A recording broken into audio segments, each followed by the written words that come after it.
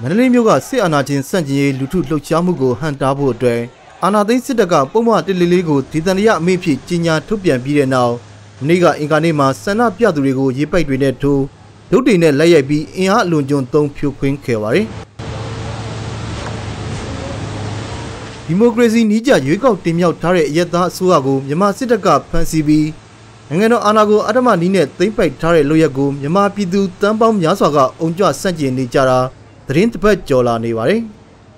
တော်ပြီပြီရဲ့ညီရလားဟဲ့ညီရဟဲ့ညီရဟဲ့တော်ပြီပြီရဲ့ညီရလားဟဲ့ညီရဟဲ့ညီရဟဲ့တော်ပြီပြီရဲ့ညီရလားဟဲ့လူ9ယောက်ထက်ပိုမစုကည7နာရီကနေမနက်4နာရီအတွင်းအပြင်မထွက်ရဆိုတဲ့ပုံမှန်တလေးလေးကိုဝန်ထမ်းပေါင်းစုံတပိတ်ကြီးစတင်တဲ့တင်းလာနေညမှာမြန်မာစစ်တပ်ကထုတ်ပြန်ခဲ့ပြီးဒီအမိတ်အာဏာကိုစန့်ကျင်ဖီဆန်တဲ့အနေနဲ့စနေနေ့ကစလို့တင်းလာနေအထိလမ်းပေါ်ထွက်ပြီးဆန္ဒပြတဲ့ဥယျာဉ်ထက်3ဆကျော်ပုံမူပါဝင်လာခဲ့ကြပါတယ်